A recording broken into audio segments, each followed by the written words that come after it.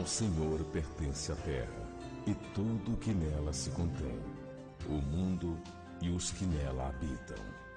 Ouviremos agora a palavra de Deus. A palavra de Deus.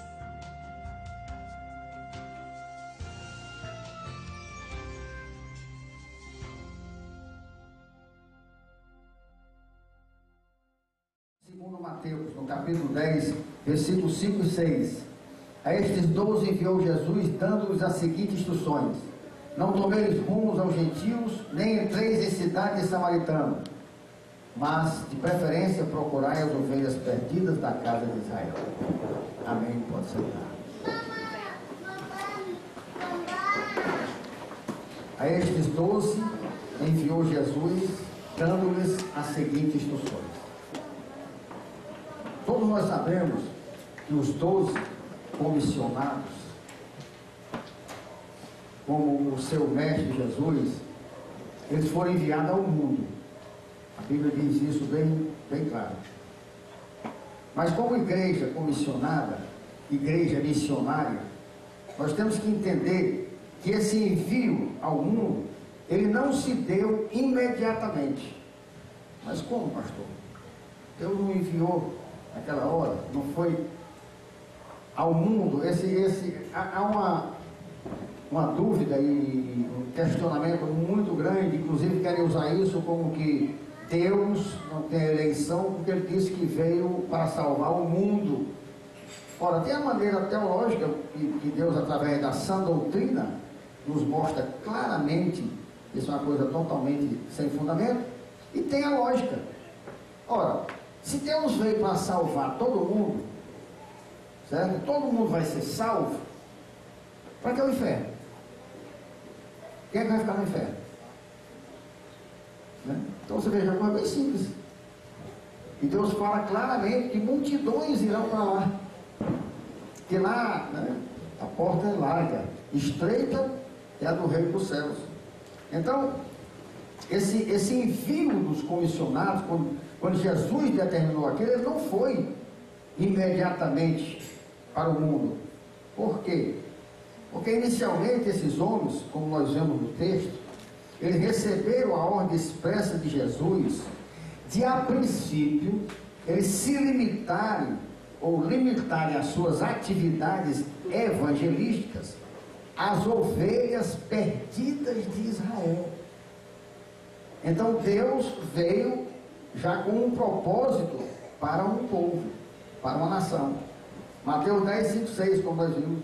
A estes doze enviou Jesus dando as seguintes instruções: Não tomeis rumos aos gentios, nem entreis em cidades de samaritanos, mas, de preferência, procurai as ovelhas perdidas da casa de Israel. Pronto. Quando ele nos alerta para isso, ele está dizendo que ele não enviou para todo mundo, não. Nem inicialmente para os gentios. Inicialmente.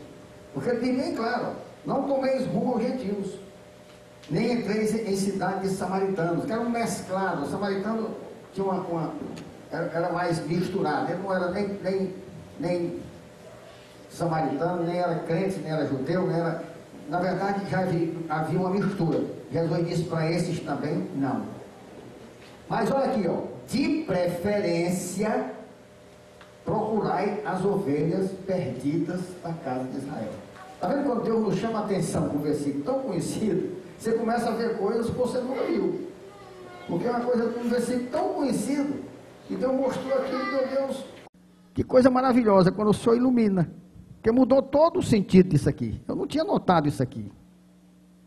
Como nós já temos visto e aprendido, todo o texto perfeitamente iluminado nos leva à identificação e confirmação indubitável da doutrina da predestinação e da eleição.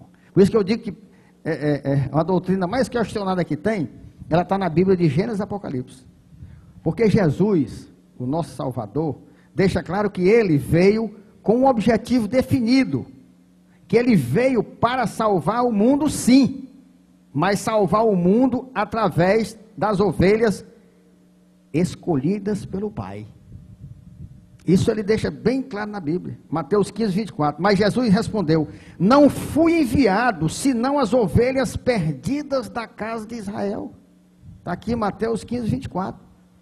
Jesus dizendo: Não fui enviado senão as ovelhas perdidas da casa de Israel. Eu não vim para outras pessoas, não, rapaz.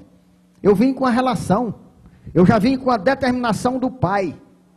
Por isso que ele diz: Todos aqueles que o Pai me entregou, de todos os que o Pai me entregou, nenhum se perderá. De todos que o Pai entregou. Então, tinha um povo eleito, tinha um povo escolhido por Deus para ser salvo por Jesus. Isso é o que é confirmado em toda a Bíblia. Jeremias 56 diz assim: O meu povo tem sido ovelhas perdidas seus pastores as fizeram errar e as deixaram desviar para os montes. Do monte passaram ao outeiro, esqueceram-se do seu redil. O que está acontecendo hoje, né? Aquilo que eu falei. Deixaram de pastorear, deixaram de ensinar, e eles foram deixando, aí deixaram o monte, do monte foram para o outeiro, aí se espalharam, esqueceram-se do redil esqueceram ali do lugar onde eles congregavam, ali da união com Deus. Não tem mais, se afastaram de Deus, estão perdidos. É exatamente a situação hoje. Mateus 9, 35, 36. E percorria Jesus todas as cidades e povoados, ensinando nas sinagogas, pregando o evangelho do reino e curando toda sorte de doenças e enfermidades. Vendo ele as multidões, compadeceu-se delas, porque estavam aflitas e exaustas, como ovelhas que não têm pastor. Alguns, eu chamo de analfabetos bíblicos, né? Cegos né, pelo príncipe deste mundo, e outros anticristo mesmo, filhos da ira, eles negam a existência de pastores. Pode ver que tem até denominação aí que não, não tem pastor na Bíblia, não. A Bíblia não existe Bíblia sem pastor. A Bíblia resista claramente o momento em que Jesus Cristo comissionou os pastores para apacentar as ovelhas perdidas de Israel. Quando ele fala pastor apacenta, ele levantou. Ele, ele, ele ali criou a figura do pastor. Sendo Pedro aquele que Jesus escolheu para representar esses pastores deixando claro que nenhum homem pode se dizer pastor e que ama Jesus, se não cumprir o propósito da vinda de Jesus, que é apacentar as ovelhas, inicialmente perdidas da, da casa de Israel. Então ele, ele é, é claro, ele, ele usou o termo que identifica pastor. Pedro, tu me amas? Apacenta. Quem é que apacenta? As ovelhas, pastor. Tu me amas? Cuida dos meus cordeiros. Quem é que cuida? Pastor. Apacenta minhas ovelhas. Quem é? Pastor. Então como é que o cara pode dizer que não existe pastor na Bíblia?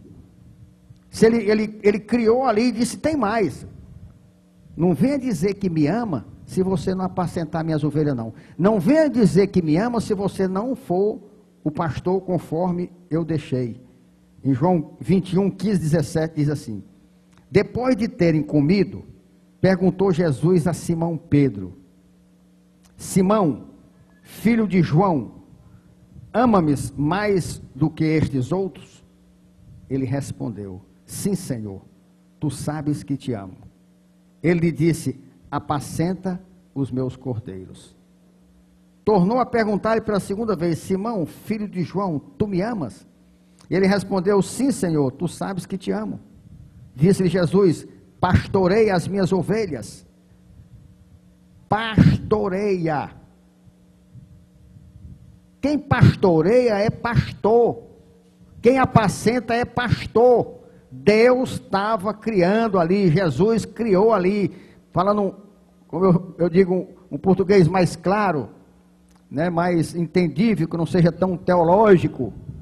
Deus criou ali o cargo de pastor. Pelo amor de Deus, não dá para ser mais claro, porque ele disse apacenta, é, é, é pastoreia. Quem é que faz isso? Só pode ser o pastor. Então ele estava levantando o pastor. É, é, é, claro isso na, na, na Bíblia. Pela terceira vez, Jesus lhe perguntou: Simão, filho de João, tu me amas? Pedro entristeceu-se por ele lhe ter dito pela terceira vez: Tu me amas? E respondeu-lhe: Senhor, tu sabes todas as coisas, tu sabes que eu te amo. Jesus lhe disse: Apacenta as minhas ovelhas. Naquele momento, Jesus estava dizendo: Eu vou, Pedro. Agora não venha com o negócio de dizer que você me ama, que você é isso, aquilo. Se você, como pastor que eu estou lhe levantando, não apacentar as minhas ovelhas, não pastorear os meus cordeiros, não cuidar das minhas ovelhas, não diga que me ama. Por que, que ele diz assim, tu me ama mais do que os outros? Esses outros aqui, que muita gente não entende, ele estava querendo dizer os outros que não apacentam as minhas ovelhas. Esses outros que não apacentam, você me, me ama mais do que eles? Pois se tu me ama mais do que eles, o teu diferencial é pastorear os meus cordeiros, é apacentar as minhas ovelhas. Porque senão você não me ama mais do que eles. Porque eles todos dizem que me amam, mas eles não provam que me amam da, da forma que eu digo que me ama, apacentando as minhas ovelhas. Se você me ama realmente, Pedro, mais do que esses outros, você, você tem que ter esse diferencial. Então, o que nós temos que prestar bem atenção é que Jesus fala, fa, fala várias vezes, exortando ao pastor para apacentar, pastorear os seus cordeiros, as suas ovelhas. Os anticristos, que se intitulam pastores, apóstolos, né? E outros bichos aí afora, além de não apacentarem os cordeiros, as ovelhas perdidas de Israel, eles alimentam os filhos da ira, que lotam a sinagoga de Satanás, tão comum no dia de hoje. Você veja a diferença. as ovelhas, eles não as apacentam, eles não querem. Eles não querem mais trabalho com ovelha. Ovelha doente, ovelha trabalhosa, ovelha pecadora, que precisa, ovelha machucada, ferida, que precisa de amor, precisa do azeite, precisa do, do bálsamo. Pastor? Pastor para cuidar disso? Conversa é essa? Não, quem quiser que morra para lá. Eu quero ovelha gorda, com dinheiro, para dar dízimo alto. Está aí os, os templos faraônicos, que esses mercenários ladrões, usando de má fé, que não são pastores, eu sempre digo que são pai de chiqueiro, cuidam de bodes, usando a Bíblia, usando o Evangelho, distorcido. As pessoas não têm conhecimento e acompanham. Você veja como é sério. Eles não só não apacentam as ovelhas de Deus, não cuidam das ovelhas quebradas, da doente, da desgarrada, como eles alimentam aquelas que não são ovelhas de Deus. Você veja como é sério, como é sério. Está lotado, lotado templos faraônicos, não é templo de Deus, é sinagoga de Satanás. Porque como é que Jesus pode estar numa igreja onde ele não é amado? E ele disse que tu me ama, pastor. Pois apacenta minhas ovelhas, rapaz. Pastoreia minhas ovelhas. Pastorear ovelha. Pastor que se diz hoje, pastorear ovelha, não quer nem ouvir falar, rapaz. Ele não quer problema, não, ele quer dinheiro. Ele quer dinheiro. Essa é a, é a, é a realidade de muitos que se dizem igreja aí hoje. Logicamente que isso não passou desapercebido para Deus, pois tudo ele deixou registrado e avisado para que os que querem verdadeiramente viver essa sã doutrina. Em Jeremias 23, 1, 2 diz assim: Ai dos pastores que destroem e dispersam as ovelhas do meu pasto. Olhe, logicamente, se ele está dizendo ovelha do meu pasto, é porque tem ovelha de outros pastos. E essas ovelhas do pasto de Jesus é que os pastores estão destruindo e dispersando. Por exemplo, nós vimos o, o testemunho do, do, irmão. O que é que eles eram? Ovelha dispersa. Estavam desgarradas como sem pastores. Por quê? Porque não estavam sendo tratadas, não estavam sendo fortalecidas, não estavam sendo amparadas na palavra, ainda, ainda mais, estava chamando para a obra. Ou seja, eu vou sugar. O que é que você pode me dar? Eu quero saber o que é que, o que, é que você pode me servir. Não é em que, em, em que eu possa lhe servir. E o pastor não tem que estar atrás e saber o que, é que a ovelha pode servir a ele, não. ele tem que estar pronto para servir a ovelha, para ela ter gozo e gratidão de servir a Deus. Mas ele cuidar, ele acompanhar, ele ensinar, ele disciplinar. É exatamente isso que ele não faz. Ai dos pastores que destrói e dispersam as ovelhas do meu pasto, diz o Senhor. Portanto, assim diz o Senhor, Deus de Israel, contra os pastores que apacentam o meu povo. Olha, contra os pastores que apacentam o meu povo. Dessa forma, eu vou dizer para vocês: Vós dispersaste as minhas ovelhas e as, e as afugentaste, e dela não cuidaste, mas eu cuidarei em vos castigar a maldade das vossas ações, diz o Senhor. O que era que estavam fazendo aqui? Aqui é um exemplo. O que, o, o que era, como é que ele sentava lá atrás? Como? Afugentado, com medo, com medo. Por quê? Não estava sendo cuidada. Mas Deus diz assim: olhe, eu cuidarei em vos castigar a maldade das vossas ações, diz o Senhor. E Ezequiel, eu quero ler esse trecho, 34, 1, 17. Porque é outro profeta tremendo e usado muito por Deus. Ele diz assim: Veio a mim a palavra do Senhor dizendo: Filho do homem, profetiza contra os pastores de Israel. Profetiza e diz-lhes: Assim diz o Senhor Deus: Ai dos pastores de Israel que se apacentam a si mesmo. O que, o que, é que eles estão fazendo? Se apacentando a si mesmo, cuidando de si mesmo, cuidando das suas famílias, pegando o dinheiro das ovelhas e usando para si. Não glorificam a Deus, não, não, não falam no nome de Jesus. O negócio é só para si, só para si. São a, a, as filhas da sanguessuga. É só dar, dar, dar, dar. Eu já falava isso lá com os profetas no Antigo Testamento. Ai dos pastores de Israel que apacentam a si mesmo. Aí Deus pergunta: Não apacentarão os pastores as ovelhas? Deus perguntando: O pastor não é para é apacentar as ovelhas, não? Porque o que a gente viu que Deus criou o pastor para apacentar as ovelhas. Aí Deus pergunta: Não apacentarão os pastores as ovelhas? Se não apacentarem, vão fazer o quê? Não são pastores. Comeis a gordura vestivos da lã e degolais o cevado, mas não apacentais as ovelhas. Meu irmão Jeremias, acho que 600 e... Jeremias foi 600 e poucos antes de Cristo. Falando hoje, o que estão fazendo exatamente hoje. A fraca não fortaleceste, a doente não curastes, a quebrada não ligastes, a, des, a desgarrada não tornaste a trazer, e a perdida não buscaste mas dominai sobre elas com rigor e dureza. Vocês têm que dar o dízimo. Vocês têm que botar dinheiro, porque senão Deus vai tomando, achacando, usando tudo que pode tirar das ovelhas de Deus. Amor e cuidar que é bom, nem pensar. Assim se espalharam por não haver pastor e se tornaram pasto todo, para todas as feras do campo. As minhas ovelhas andam desgarradas por todos os montes e por todo elevado outeiro.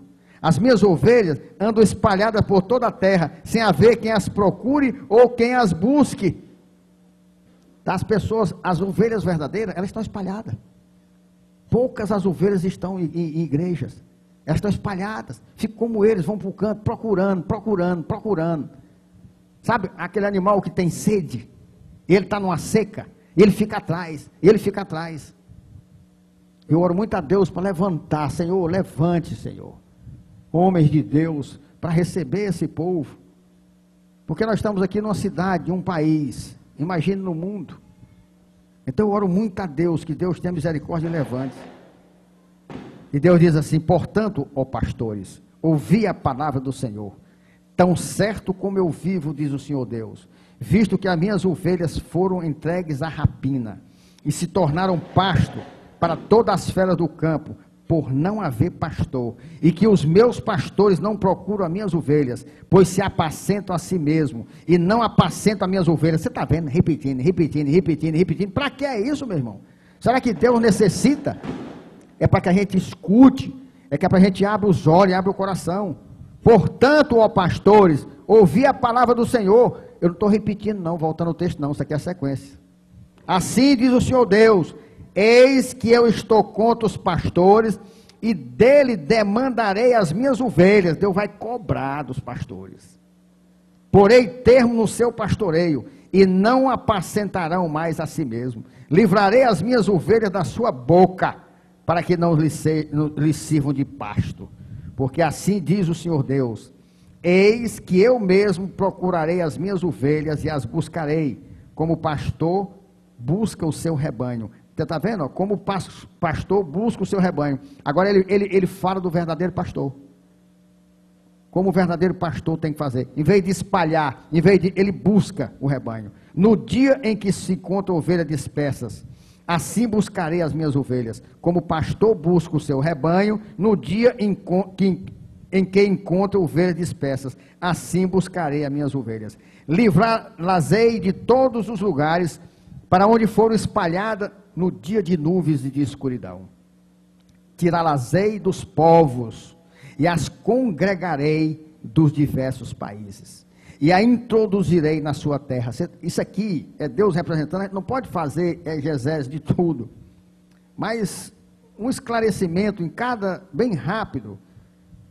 Tirá-los-ei dos povos, as congregarei dos diversos países, a introduzirei na sua terra. Deus está dizendo que vai buscar, é Deus, Deus próprio. Eu, eu disse para eles, para esse casal, quem foi que trouxe para vocês para cá? Foi Deus. Foi Deus. Porque no tempo que estava lá, na, nas ligações que tinham, familiares e tudo mais, sabe quando é que saía? Nunca. Nunca. Que o costume é que mata. Uma frasinha bem, mas o costume é que mata. Essa é a desgraça, é o costume. As pessoas não querem tomar iniciativa. É aquela frase que Deus me deu, que um sonho seu para se tornar realidade, você tem que tomar uma iniciativa. Senão ele fica só sonho, sonho, sonho. Eu sonho nisso, eu sonho naquilo. Mas Deus disse, saia daí. Abraão, sai da terra, da tua terra, da terra do teu pai, do meio da tua parentela, vai para a terra que eu te mandar. Abraão estava numa vida boa, meu irmão. Pensa que Abraão era pobre? Não, era rico, estava bem com o pai, estava tudo. Deus disse, sai daí, sai daí, do meio da tua parentela. Vai lá para eu te mandar e mandou e tomou logo uma seca de cara e tomou logo, mas tomou iniciativa. A promessa era grande. Nós precisamos crer, nós precisamos sair da zona de conforto, nós precisamos perguntar, Senhor, me ensina a escutar a tua voz. Porque ouvir eu ouço muito, mas eu não escuto. Porque ouvir é ouvir, escutar é atender, é fazer aquilo que você ouviu. Você escutou seu pai naquilo que ele mandou você fazer? Eu fiz, eu fiz, eu escutei, eu atendi. Por é que as pessoas ouvem, mas não escutam. Ouve, mas não atende. Por quê? Porque tem que ter uma iniciativa, tem que ter uma mudança, tem algo vai mudar e a pessoa teme, não vou ficar aqui, eu vou ficar aqui. Aí não muda nunca. E fica ali, e o tempo passando, e as bênçãos não chegam. E Deus diz: Tirarás-ei dos povos e as congregarei dos diversos países, e as introduzirei na sua terra, apacentarás-ei nos montes de Israel, junto às correntes e em todos os lugares habitados da terra. Apacentarás-ei de bons pastos, e nos altos montes de Israel será a sua pastagem. Deitar-se-á ali em boa pastagem, e terão pastos bons nos montes de Israel. Interessante, né? Pregação aqui, vê um testemunho desse, e ela diz, agora eu me sinto como numa rede descansando. Olha, aqui. Deitar-se-ão ali em boa pastagem, e terão pastos bons nos montes de Israel. Parece coisa montada, parece coisa. Eu mesmo apacentarei as minhas ovelhas e, farei, e as farei repousar, diz o Senhor Deus. Ela disse está fazendo isso, está repousando, como que deitada numa rede. A perdida buscarei, a desgarrada tornarei a trazer, a quebrada ligarei a enferma fortalecerei. Mas a gorda e a forte destruirei, apacenta-las-ei com justiça. Quanto a vós outra, ovelhas minhas, assim diz o Senhor Deus: Eis que julgarei entre ovelhas e ovelhas, entre carneiros e bodes. Aí Deus vai peneirando. A gorda, tanto é a gorda como está lá, né? Dando o, o que ela tem e não recebendo nada e sem fazer nada, Deus disse que vai julgar essas aqui. Agora, quanto a vós outros, ovelha minha, assim diz o Senhor Deus: Porque Deus não falou dos pastores? Falou dos pastores, falou dos pastores. Agora ele falou das ovelhas. Olha, agora quanto a vocês, eu estava falando dos pastores, agora vocês, ovelhas minhas. Assim diz o Senhor Deus. Eis que julgarei entre ovelhas e ovelhas, entre carneiras e bodes. Agora, quando vocês estiverem, aonde eu botar, aonde eu. Aí agora vai ser comigo. Deus não torna o culpado inocente. Agora eu vou tratar. Agora eu, eu vou, é comigo. Porque quem ama, disciplina. Então Deus julgará entre ovelhas e ovelhas, entre carneiros e bodes. Então, meus irmãos, ser uma igreja de discípulos, uma igreja missionária, é muito mais sério do que se prega e do que se pratica por aí. Quando eu digo que missões é a razão da existência da igreja, é porque a igreja existe para a glória de Deus e não se pode glorificar Deus sem fazer missões. Tem gente que não entende quando eu digo que missões, a, a, a, a igreja é a razão da existência da igreja, é missões. Não, a, a, a razão da existência da igreja é a glória de Deus. Sim. Como é que você pode glorificar a Deus se você não fizer missões? Que Jesus comissionou e determinou. É como a fé. A Bíblia diz que sem fé é impossível agradar a Deus e que o justo viverá pela fé. Hebreus 11:6. De fato, sem fé é impossível agradar a Deus, porquanto é necessário que aquele que se aproxima de Deus creia que ele existe e que se torna galardoador dos que o buscam. Abacuque 2:4. Eis o soberbo, sua alma não é reta nele, mas o justo viverá pela fé. Então Deus vai dizendo, é o justo viverá pela fé. Romano 1,17, visto que a justiça de Deus se revela no Evangelho, de fé em fé, como está escrito, o justo viverá pela fé. Mas Deus nos afirma também na Bíblia que a fé sem obras é morta. Então, como é que eu posso glorificar Deus sem fazer missões? Então, eu posso dizer que missões, a, a razão da existência da igreja é fazer missões para que Deus seja glorificado como Tiago diz em 2, 14, 17, com relação à fé. Meus irmãos, qual é o proveito se alguém disser que tem fé, mas não tiver obras? Qual é o proveito de eu dizer que a minha vida é para a glória de Deus, que a igreja, o, o, o objetivo da igreja é a glória de Deus e eu não fizer nada? Eu não fizer missões? Não estou fazendo nada. Pode acaso semelhante fé salvá-lo?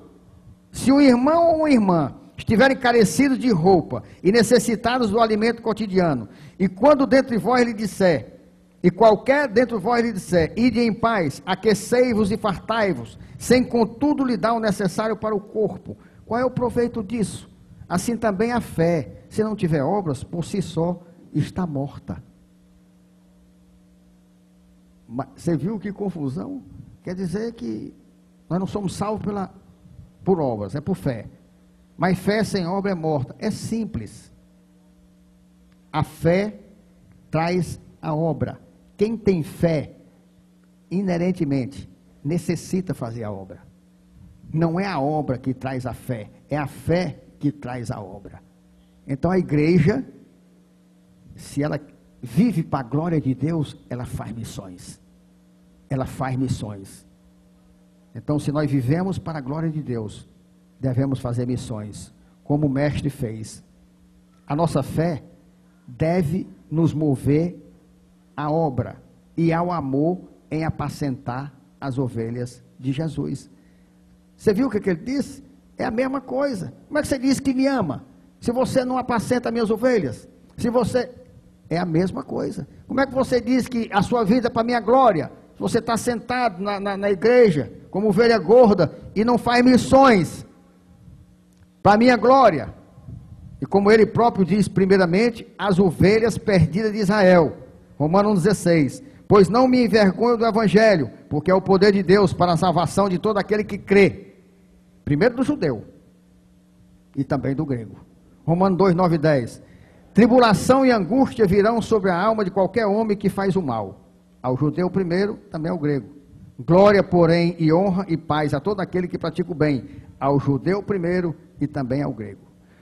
O ensino de Jesus não se limitava apenas ao templo e à sinagoga. Mas para Jesus e a sua obra, esse, esse espaço, esse local, ele tinha uma importância especial. Ele, por quê? Porque ele diz que veio primeiro para esses. Primeiro ele tinha que fazer essa parte aí. Percorria Jesus toda a Galiléia, ensinando nas sinagogas, pregando o evangelho do reino e curando toda sorte de doenças e enfermidades entre o povo. Mateus 13, 54. E chegando à sua terra, ensinava-os na sinagoga, de tal sorte, de tal sorte que se maravilhavam e diziam: De onde lhe vem esta sabedoria e estes poderes miraculosos? Ele ensinava no templo, na sinagoga, primeiramente, porque ele veio para um povo, para as ovelhas perdidas. Depois ele abriu. Então, não obstante, em momento nenhum, Deus nos fala na sua palavra que ele esqueceu dos gentios. Pelo contrário, ele deixa explicitamente declarado o seu propósito para com estes. O que é que Deus quer dizer com isso? É que quando você faz missões, você vai pregar, você tem que ir para as ovelhas perdidas de Israel. Só que agora, nesse tempo, as ovelhas perdidas de Israel são as eleitas de Deus. Não, não há mais diferenciação de judeu e gentil. E você não, não, não vai saber. O que Deus quer dizer, quando você faz missões seriamente, os de Deus, escuta a voz do pastor, conhece a voz do pastor e vem. As que não forem escolhidas, não vêm. Não adianta você tentar forçar. Não adianta você inventar. Não adianta você levar a cesta básica. Você dá isso, você dá aquilo, que você não compra almas. Quem atrai as ovelhas de Deus para Deus é a pregação do Evangelho, como deve ser pregado. Não adianta a gente querer inventar. E até quando você menos espera, quem você acha que não vem, é quem Deus escolheu. Quando você acha que tem um coraçãozinho muito bom, não vem nunca. Simpatiza, acha bonito, tudo, mas não se achega. Então, Deus deixa explicitamente declarado também o seu propósito para com os gentios, Mateus 4, 24, 25. E a sua fama correu por toda a Síria.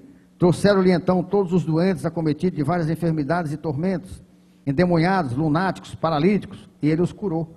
E da Galileia, Decápolis, Jerusalém, Judéia e da além do Jordão, numerosas multidões o seguiam. E muitos eram curados e outros salvos. Mateus 11, 8, 11 e 12. Olha aqui. Digo-vos que muitos virão do Oriente e do Ocidente e tomarão lugares à mesa com Abraão, Isaac e Jacó no reino dos céus. Ao passo que os filhos do reino serão lançados para fora nas trevas, ali haverá choro e ranger de dentes. O cara que está na igreja e o cara que quer viver no pecado, ele está como, ele acha que o pecador está tá, tá morto sem salvação e ele acha que está salvo. E Deus diz que muitos virão do ocidente, do oriente e vão tomar lugar à mesa com Abraão, Isaac e Jacó. E aqueles que estavam dentro do reino, fora. E vai haver choro e ranger de dente, porque eles vão ser lançados nas trevas, diz a palavra. João 10, 16 diz assim: Olhe, ainda tenho outras ovelhas, não deste aprisco. A mim me convém conduzi-las. Elas ouvirão a minha voz, então haverá um rebanho e um pastor. Então ele está dizendo que tem outras ovelhas,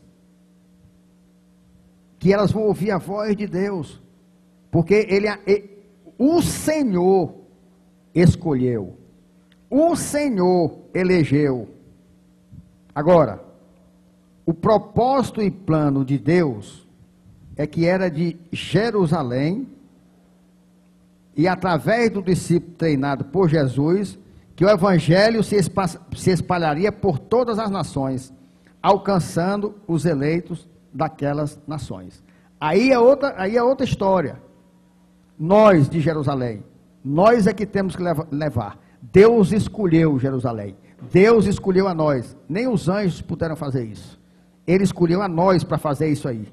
Em Gênesis 12, 1, 3 diz assim: Ora, disse o Senhor a Abraão: Sai da tua terra, da tua parentela e da casa de teu pai, e vai para a terra que te mostrarei.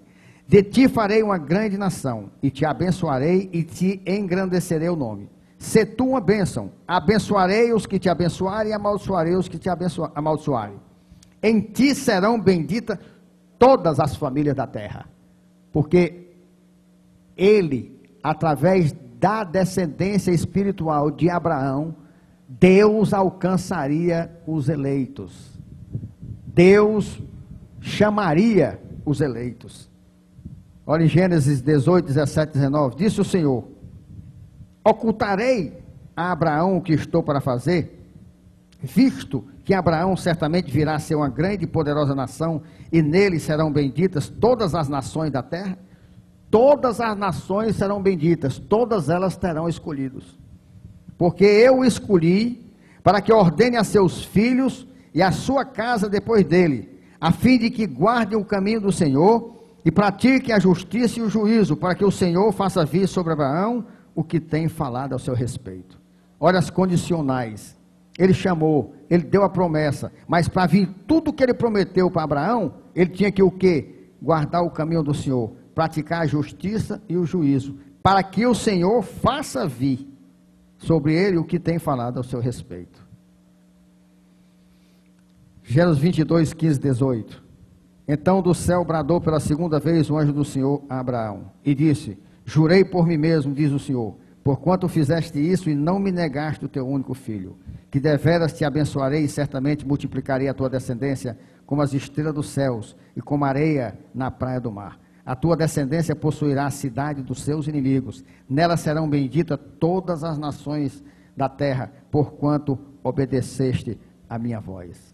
Reparem que em cada passagem tem uma condicional, ou seja, Deus não usa como pastor ou como missionário quem não obedece, quem não tem vida na busca da santidade e da abominação do pecado. Nós vamos chegar, chegar, você vê, isso aqui é tudo sobre missões, missões, missões, missões. Atos 3, 1, 2. Disse na verdade Moisés: O Senhor Deus vos suscitará dentre vossos irmãos um profeta semelhante a mim a ele ouvireis em tudo quanto vos disser. Acontecerá que toda alma que não ouvir a esse profeta será exterminada do meio do meu povo. Quem não escutar ao nosso Senhor Jesus será exterminado do povo, não faz parte do povo de Deus.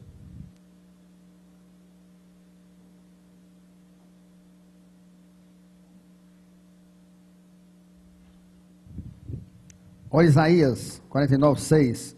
Sim, diz ele: pouco é o seres meu servo, para restaurares as tribos de Jacó e tornares a trazer os remanescentes de Israel. Também te, hei, te dei como luz para os gentios, para seres a minha salvação até a extremidade da, da, da terra. Atos 13, 47. Porque o Senhor assim nolo determinou. Eu te constituí para a luz dos gentios, a fim de que seja para a salvação até os confins da terra. Antigo e Novo Testamento. O que nós temos que entender é que o nacionalismo do Antigo Testamento foi pela cruz substituído pelo internacionalismo, de modo que hoje não há distinção de judeu ou grego. Romanos 10, 12. Pois não há distinção entre judeu e grego, uma vez que o mesmo é o Senhor de todos, rico para com todos os que o invocam. O que não, não podemos esquecer é que todo aquele que vai crer nele é aquele que recebeu o dom da fé que vem exclusivamente de Deus e pela graça que leva à salvação sem nenhum esforço ou mérito. Veja bem, só vai crer nele porque ele veio para o que crê, para que todo o que nele crê não pereça, mas tenha vida eterna. Mas ele escolheu os que vão crer. É o que a Bíblia diz. Efésios 2, 8, 9. Porque pela graça sois salvos. Pela graça, nós já sabemos. Não tem mérito, não tem esforço, não tem bondade, não tem nada. Exclusivamente pela graça. Mediante a fé. E isto não vem de, de vós, é dom de Deus. Ou seja, o cidadão é salvo se ele tiver fé. Mas ele não tem fé se ele não receber de Deus. Conclusão: só é salvo quem Deus escolheu e deu fé para ser salvo. Ele diz assim: não de obras, para que ninguém se glorie. Então não adianta fazer caridade, não adianta fazer. Ninguém é salvo por obras. As pessoas se chocam, né? Quando essas pessoas tão bondosas, como Madre Teresa de Calcutá e outras, se não tiverem encontrado Jesus, com toda a sua obra, com toda a sua caridade, com toda, foi para o inferno. Foi para o inferno, sem dúvida nenhuma. É Bíblia. Agora, se elas tiverem recebido fé para confessar Jesus como seu Salvador, tiverem sido é, é, regeneradas pelo Espírito, nascidas de novo, aí está certo. Se não, está no inferno. Não tem quem possa mudar isso. 1 Coríntios 7,19 diz assim: A circuncisão em si não é nada, a incircuncisão também nada é. Mas o que vale é guardar as ordenanças de Deus. Porque havia aquela confusão. Não, você é de Deus se você for circunciso. circunciso. Se for circunciso, não é de Deus. Deus, rapaz, isso aí não adianta nada. Isso é coisa de homem. Guarde os meus mandamentos. Aquele que for meu, aquele que me ama, vai guardar meus mandamentos, vai receber fé para me obedecer. Senão, pode fazer todos os, os rituais que fizer, que não contribui em nada para a salvação. Olha Gálatas 3, 7 e 9. Sabei, pois, que os da fé é que são filhos de Abraão. Ora, tendo a Escritura previsto que Deus justificaria pela fé os gentios, pré-anunciou o Evangelho a Abraão.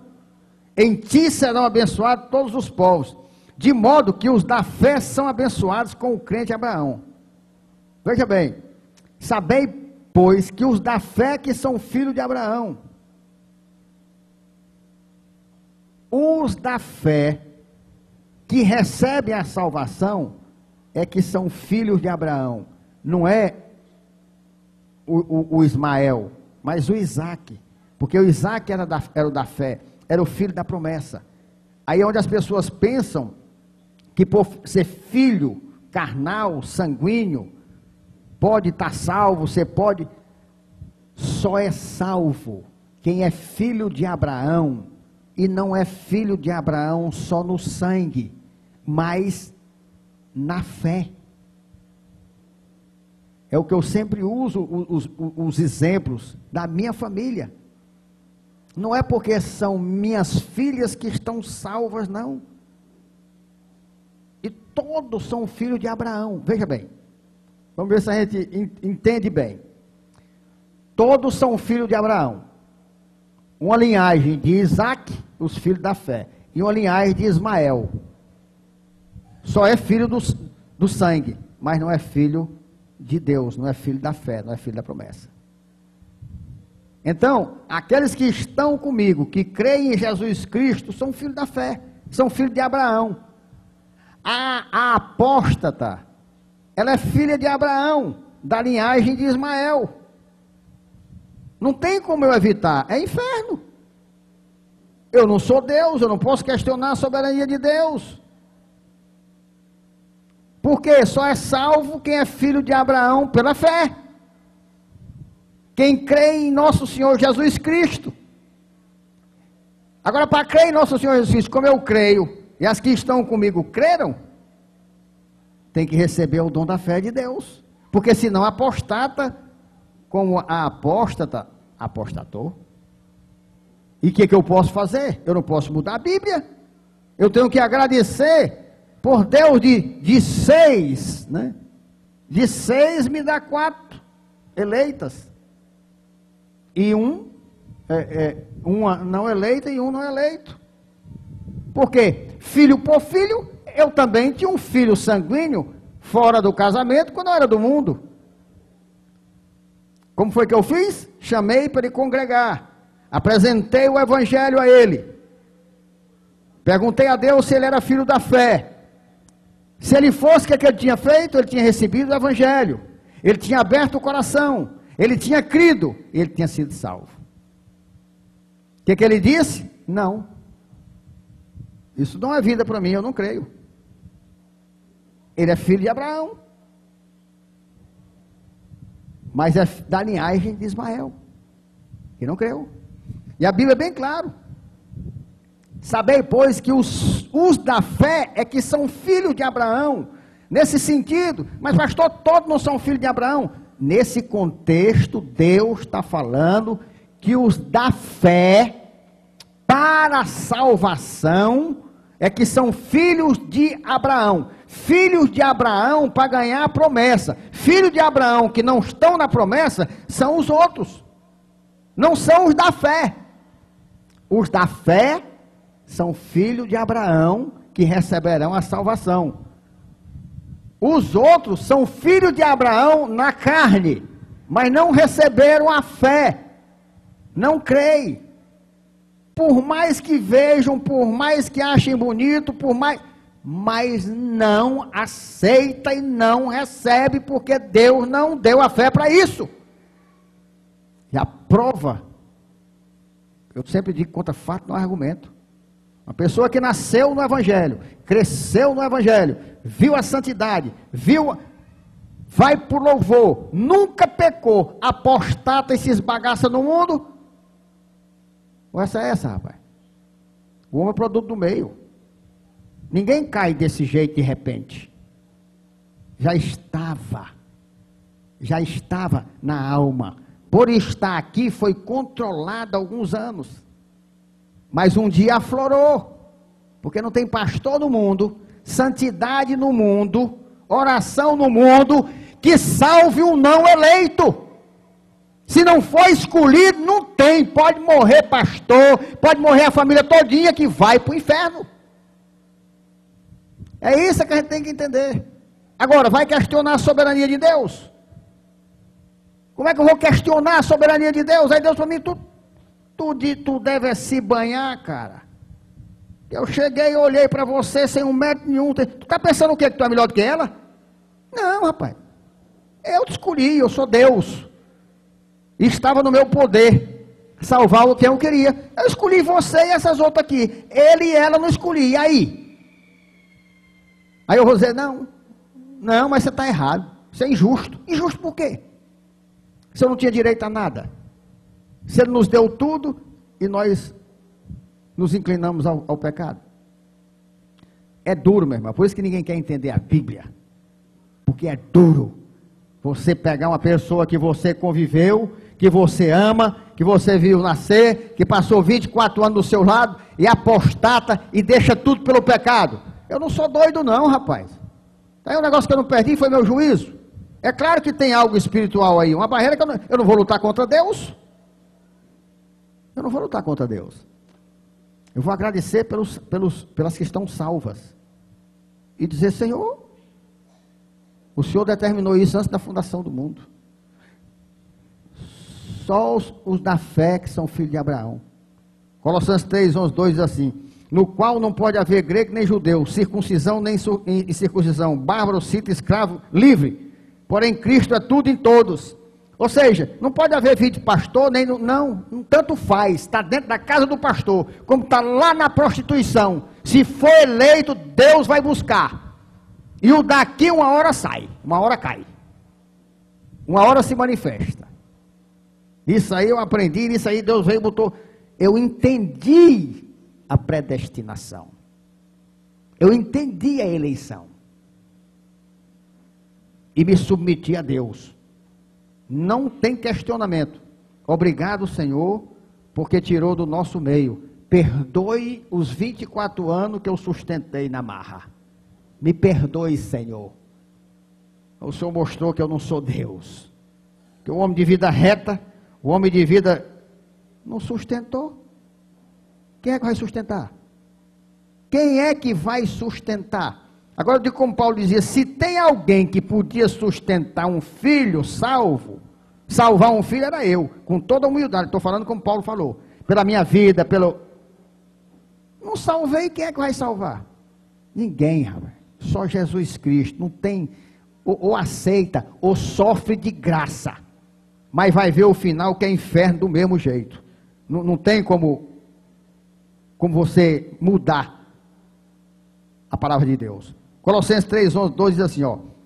No qual nós já vimos, mas em 13, 3, 12 diz assim: Revestivos, pois, como eleitos de Deus. Você está vendo? eleito de Deus. Ele manda se revista como eleito de Deus, santos e amados, de ternos afetos de misericórdia, de bondade, de humildade, de mansidão, de longanimidade. Então se revista como eleito de Deus. Se você é eleito de Deus, você tem que andar dessa forma. O que é difícil de certas pessoas entenderem é, o, é, o, é que o, o, mesmo Jesus que salva é, é, é loucura mesmo. É a pedra de tropeço para aquele que não for eleito. Jesus salva e é pedra de tropeço para mandar o cidadão para o inferno. Pastor, você está ficando doido? Não, estou não. Eu vou mostrar na palavra aqui. Tem mais esse texto aí a gente começa a encerrar daqui umas duas horas. Aí, é, então, Jesus é pedra de tropeço para aqueles que não foram eleitos. Ele salva e é pedra de tropeço. Olha, a única maneira certa de dizer literalmente que Jesus veio para todos, presta atenção. Agora, agora você vai entender uma coisa que fazia muitos anos que você não entendia, porque eu não entendia e aprendi com, com Jesus. Jesus veio para todos. Jesus veio para o mundo todo. Jesus veio, agora veio. Agora eu vou lhe mostrar como foi que ele veio para todos. A única maneira certa de dizer, literalmente, que Jesus veio para todos, para toda a humanidade, é que para uma parte dessa humanidade, ele veio como Salvador. E para outra parte, que é os filhos da ira, ele veio como pedra de tropeço. Pronto. Aí eu concordo, porque a Bíblia me mostrou que Jesus veio para todos os habitantes da terra. Para uns, como Salvador, e para outros, como pedra de tropeço. É assim, é como se uma multidão fosse caminhando, e nem eu, aí eu estou salvo. Eu fui escolhido para ser salvo. Aí eu vou caminhando, mas eu não encontro nunca a salvação. E os outros que vão caminhando não encontram nunca o inferno. Aí Jesus veio. Ele veio para cá, todo mundo que está ali. Mas um eles veio para botar o caminho para o céu e outro para botar o caminho para o inferno. Então Jesus veio para todos. Ele veio como salvador de uns e pedra de tropeço para outros. 1 Pedro 2, 6 a 12. Presta atenção a esse texto aqui, como ele é esclarecedor. Ele, ele confirma tudo o que Deus mandou eu explicar para vocês. Pois isto está na Escritura. Está vendo? O que eu disse está na Escritura. Eis que põe a Sião uma pedra angular, eleita e preciosa. Ele botou lá no povo de Deus, no Monte Sião, uma, uma pedra angular, eleita e preciosa. Todo mundo sabe que essa pedra é Jesus, ele está falando de Jesus. Contexto, mostra os textos que é Jesus. E quem nela crê, presta atenção, e quem nela crê, não será de modo algum envergonhado. Quem nela crê não tem jeito de um pecado envergonhar, negócio não tem, acabou-se. Eu, eu, depois que eu criei em Jesus, acabou. Adúltero, depravado, prostituto, o diabo não me acusa mais, nem me envergonha, eu abro a boca e digo para a glória de Deus. Porque eu sei o que eu sou hoje, o que Deus fez em mim. Por quê? Porque eu criei, então não sou envergonhado.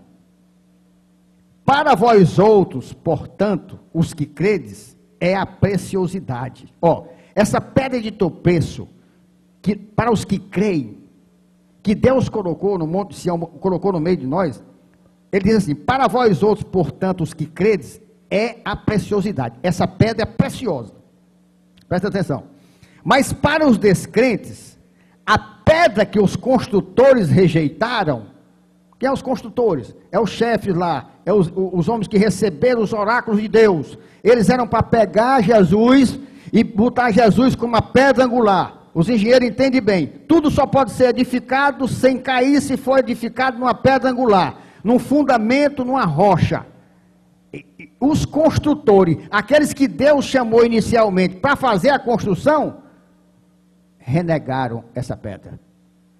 Foi o que os judeus fizeram? Não quiseram Jesus. É isso que ele está dizendo. A pedra que os construtores rejeitaram, essa veio a ser a pedra principal. A principal pedra angular. Eles rejeitaram, mas ele é a principal. Não tinha como fazer nada sem ele. Ó, presta atenção. Pedra principal para a construção da casa de Deus, dos crentes e tal. E, e o mesmo, a mesma pessoa. E pedra de tropeço e rocha de ofensa. Então ele servia como pedra angular para me edificar, para me crescer nele e pedra de tropeço, rocha de ele não é a rocha, ele é a pedra, é a rocha para a gente edificar em cima, mas também é pedra de tropeço e rocha de ofensa.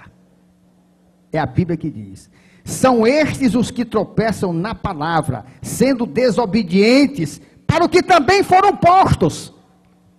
Olha aqui, para o que também foram postos. Eles foram colocados como desobedientes. Eles foram escolhidos para ser desobedientes. É eleição. Deus escolheu uns para obedecer, para crer e outros para serem contra. Está aqui.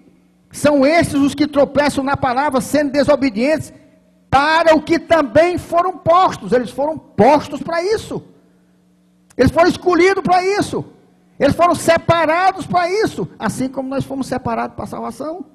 Vós, porém, aí falando de nós, olha aqui. Vós, porém, sois raça eleita. Rapaz, pode existir uma palavra mais clara de eleição? Vós, porém, que não são como eles, vocês são raça eleita. Vocês foram eleitos por Deus, por isso vocês creem. Por isso ele não é pedra de tropeço para vocês. Por exemplo, voltando aqui o exemplo, eu estava andando salvo, mas não encontrava a salvação. Encontrei Jesus, ele foi a rocha que eu estou edificando minha vida. A apóstata que estava aqui comigo, Paola estava andando, e, e o caminho dela era o inferno, mas ela não encontrava o inferno. Mas na hora que ela bateu na rocha que foi Jesus, ela tropeçou foi para ela rocha de ofensa. Então ela caiu. Então ele serviu para quê? Para mim, pedra angular, construtora, onde eu edifiquei e edifica a minha vida. Para ela, pedra de tropeço. Então ele veio para todos. Ele veio para o que é de Deus e para o que não é. Ele veio para definir a situação. Ninguém anda sem rumo com Jesus. Depois que Jesus veio, acabou. Falta de rumo. Eu estava sem rumo, salvo, sem saber para onde ia. Ele me pegou e me mostrou o caminho. Só que mostrou o caminho do céu. Para ela, infelizmente, mostrou o caminho do inferno. Mas é a verdade. Aí ele diz: Vós, porém, sois raça eleita, sacerdócio real, nação santa, povo de propriedade exclusiva de Deus, a fim de proclamar as virtudes daquele que vos chamou das trevas para a sua maravilhosa luz. Você tem que proclamar as virtudes de Jesus, porque ele te tirou das trevas. Você estava nas trevas, ele te tirou. Ele me tirou e não tirou ela. Agora, a maneira de eu ter certeza que ele me tirou é eu proclamar as virtudes dele que me chamou. Ela está proclamando? Não. Está onde? No pecado. Pronto. Está definido. Está vendo quando você conhece a palavra? Fica mais fácil se abrir o coração e Deus lhe dar consolo? Eu não vou. Eu não vou brigar contra o óbvio. Nem vou sofrer por aquilo que eu não posso recuperar. É aquela história que ninguém entende. Davi teve lá aquele menino com Batseba e o menino ficou doente. E Davi toma a chorar, pano de saco, e jejum, e não sei o quê, e em tempo de morrer. Aí o menino morreu. O menino morreu, Davi, opa, levantou-se, botou uma roupa, tomou banho, foi comer, fez um banquete. Que é isso, rapaz? Eu sofri e lutei até enquanto o menino não tinha morrido. Por quê? Porque eu sei que Deus é misericórdia, eu não sabia se era eleito ou não. Presta atenção. Então, se eu não sabia se era eleito ou não, eu tinha que lutar. Eu tinha que sofrer. Eu tinha que chorar. Eu tinha que. Aí, quando arrumou as troças, foi para o mundo escolheu o pecado, ora, me levantei e vou questionar com Deus. Deus é misericordioso, é poderoso. Se ele quisesse, tinha salvo. Se ele deixou ir, quem sou eu para questionar Deus? Obrigado, Senhor, pela sua decisão. Levantei a cabeça, tomei um banho, tirei o pano de saco e fui festejar. Mesma coisa. Eu não estou entendendo, não. Tu era para estar tá morrendo. Eu não vou questionar Deus, eu não sou doido. Enquanto existia vida, eu clamava pela misericórdia. Sofria e clamava e pedia, como Davi. Morreu o menino, morreu. Meu Deus quis assim. Está encerrado. liquidada a fatura. Acabou. Ou nós cremos em Deus assim, nós não cremos. Deus não está aí para fazer a nossa vontade, inclusive quebrando o decreto dele, não. Ele diz assim: Vós sim, que antes não erais, não erais povo, mas agora sois povo de Deus, que não tinhas alcançado a misericórdia, mas agora alcançaste misericórdia. Está vendo? Ela não alcançou a misericórdia. O que, que eu posso fazer? Eu alcancei. Amados, olha aqui. Exorto-vos como peregrinos e forasteiros que sois. Eu não posso fazer exegese tudo, mas eu não, eu não aguento ficar sem pelo menos dizer peregrino e forasteiro. Vocês não são daqui não. Vocês são cidadão celestial. Não faça raiz aqui não, que isso aqui está tudo entesourado por fogo. Use isso aqui para a glória de Deus. Amados, exorto-vos como peregrino e forasteiros que sois, a vos absterdes das paixões carnais que fazem guerra contra a alma. Deixa essa desgraça, tu não é daqui não. Isso aí tudo vai por fogo. Guarda o teu lugar no céu, mantendo exemplar o vosso procedimento no meio dos gentios, para que naquilo que falam contra vós outros, como de malfeitores, observando-vos em vossas boas obras, glorifiquem a Deus no dia da visitação. É muito tremendo. Então, inicialmente, Jesus Cristo deu essa ordem. Mateus 10, 5, 6. A estes doze enviou Jesus, dando as seguintes instruções: Não tomeis rumo aos gentios, nem entreis em cidade samaritana, mas de preferência procurar as ovelhas perdidas da casa de Israel. Então é certo que a determinação que Jesus deu aos seus discípulos continha uma restrição temporária, que mais tarde seria removida, como ele deixou registrado em Mateus 28, 19, 20. E de, portanto, fazei discípulos de todas as nações, batizando em nome do Pai, do Filho e do Espírito Santo, ensinando-os a guardar todas as coisas que vos tenho ordenado. E eis que estou convosco todos os dias até a consumação do século. Aqui ele abriu para todo mundo. Todas as nações, vai buscar. Não é mais só o Israel. Agora é o alemão, agora é o, é, é, é, é o chinês, é o japonês, vai em tudo, vai buscar lá. Acabou agora, não é só para um, não. Aí ele abriu. E os apóstolos, como verdadeiros discípulos, receber e obedecer criteriosamente a ordem que lhe foi deixada. Isto é evidente à luz de Atos 3,26. Irmãos, descendência de Abraão, e vós outros os que temeis a Deus, a nós nos foi enviada a palavra desta salvação. Olha aí, ó. Descendência de Abraão, vocês que foram escolhidos em Abraão, e vocês, e a vós outros que temeis a Deus, que foram depois escolhidos para temer a Deus e para crer. É muito é muito maravilhoso assim, quando Deus nos ilumina na palavra, quando Deus nos mostra, é, fica, não tem argumento. Ou você se dobra, ou. Então, para uma igreja, meu irmão, que se diz missionárias, estes são ensinos que não podemos deixar de continuar colocando em prática no ano de 2015 que está se iniciando. Como primeiro missionário, Jesus Cristo foi primeiramente batizado identificando-se para o mundo como cristão e filho de Deus. Depois ele foi levado ao deserto para ser tentado, onde foi tentado em todas as áreas carnais e após ter sido aprovado, foi enviado ao campo, iniciando assim o seu ministério terreno. Na Bíblia, não vemos missionários doentes e dominados pelo pecado. O missionário deve estar acima de tudo e ser acima de tudo como seu mestre Jesus, obediente, servo, submisso às autoridades após confirmado o seu chamado, deve ser preparado, treinado, passado na prova da obediência e submissão, indo somente para o campo quando estiver certo que é o momento certo determinado por Deus, confirmado no coração da igreja e principalmente do pastor.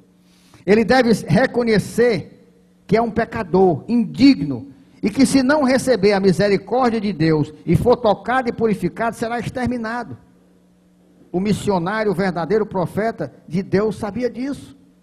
Aquele homem lá disse: Eu vou morrer. Eu vi Deus. Eu sou um homem pecador, um homem de lábios impuros e moro no meio de um povo de impuros lábios. Eu vi o Deus Todo-Poderoso.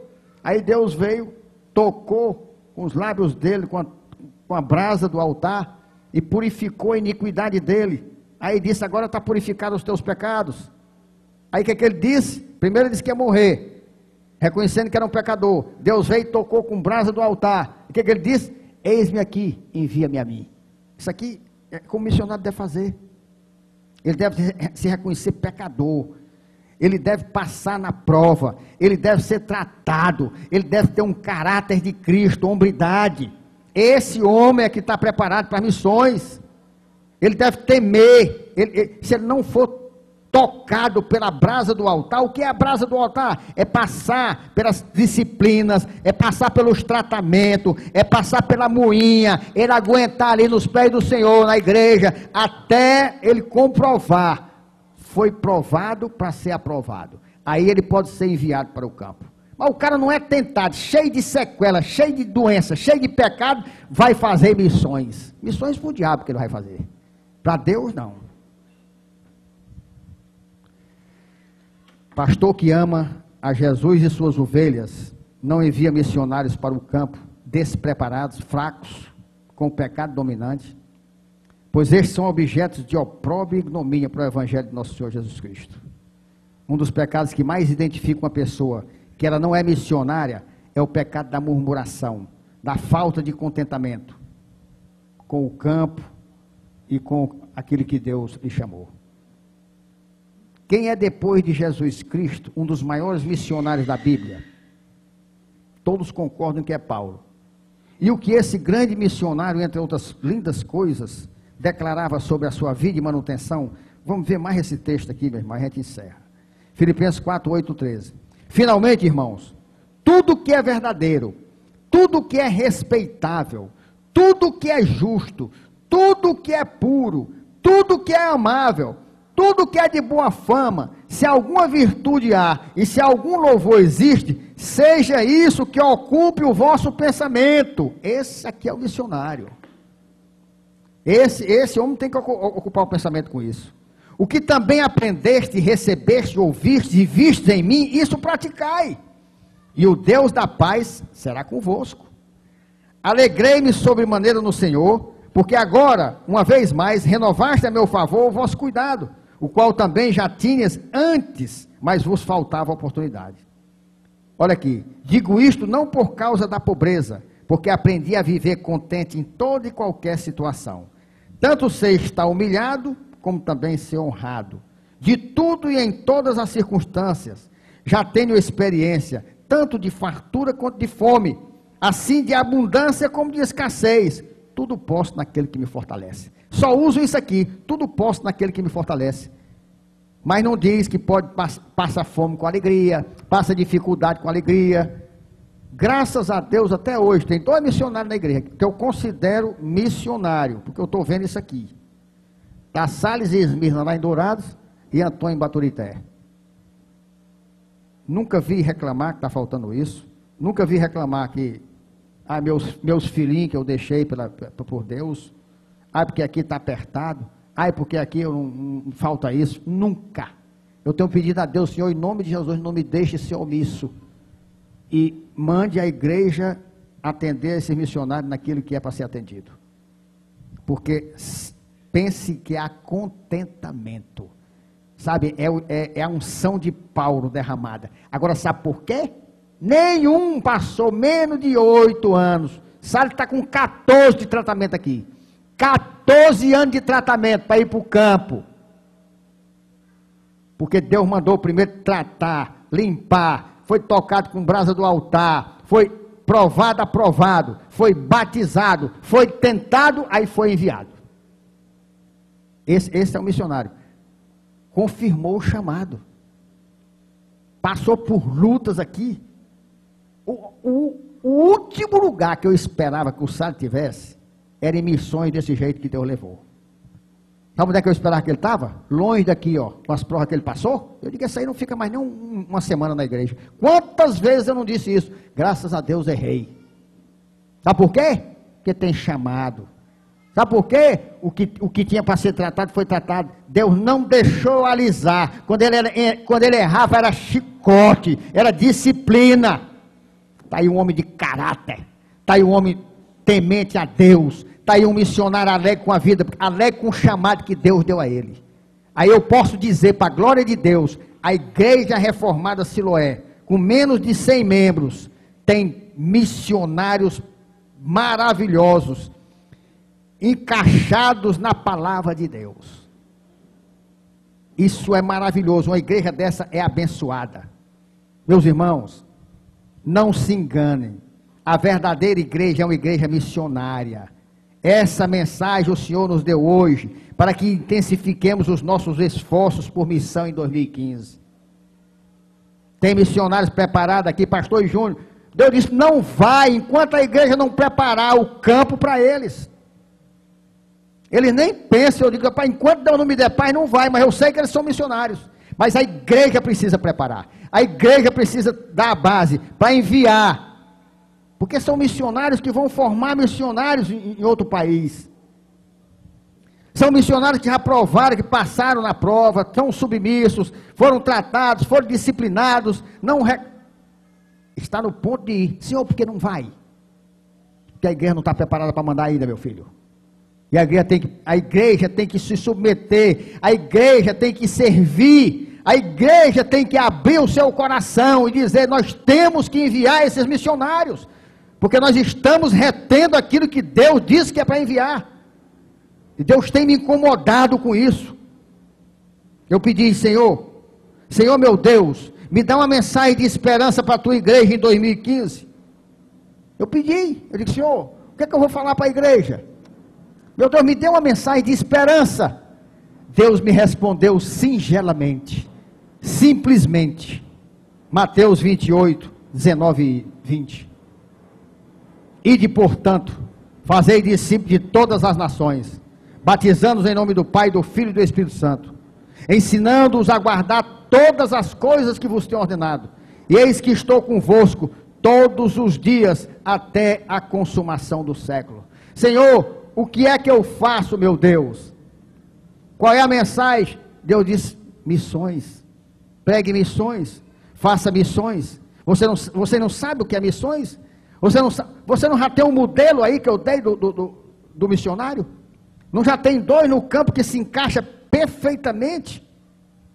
Pois a igreja saiba que eu tenho o propósito. Essa igreja, o propósito meu dela na terra é missões para a minha glória. Meu irmão, você não é cristão se você não for um missionário. Ore, clame a Deus, para que ele confirme o seu chamado e ele te santifique, te unja, te capacite, toque com brasa do altar, te dê coragem para sair da zona de conforto, te dê coragem para assumir o chamado que ele tem para você, coragem para usar os teus dons, o teu tempo, os teus bens, tuas riquezas, tudo que Deus te deu para a glória de Deus, porque se você entesourar, você vai pagar um preço alto está entesourado por fogo. Se lembre, eu estou juntando, eu estou juntando, mas vai por fogo. E eu vou ser cobrado dos missionários que era para me ajudar a mandar. Porque o pastor só não pode. Deus disse: fica na tua. Tu está fazendo tudo que eu te mando. Da parte dos teus bens que eu mandei tu entregar, tu está entregando. Agora prega isto, avisa a eles que eu vou cobrar aquele que eu estou mandando entregar e não está entregando. Não faça da sua vida um mercenário que entesoura para o fogo, mas seja um missionário que entesoura para a vida eterna.